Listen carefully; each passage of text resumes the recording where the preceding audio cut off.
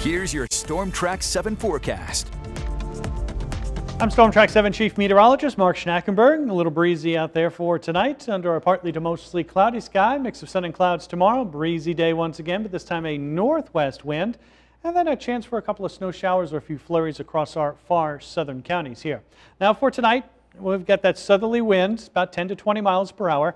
As we get towards morning, as the sun comes up, the wind becomes light, and that's when the wind direction changes.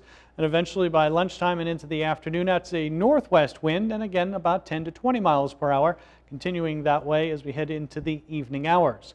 As for any precipitation, we are dry here for the nighttime hours. We're dry in the morning and looks like we'll stay that way all the way through the afternoon hours as well. Cloud cover does thicken up as we get into the later part of the day as the storm system gets a little bit closer to us, but it'll stay to our south. Latest warnings as we record this, winter storm warning uh, to our south, winter storm watch surrounding that, and that again is to our south. And that is where the heaviest of the snow is expected.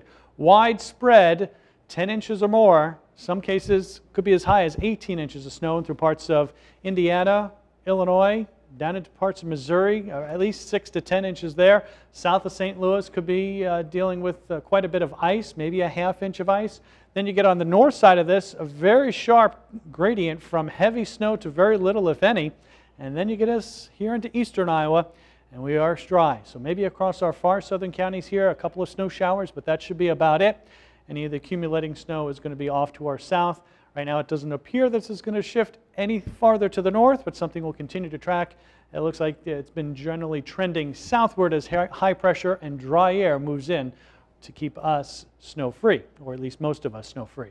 Temperatures for tonight will drop down into the 20s, a mild night ahead.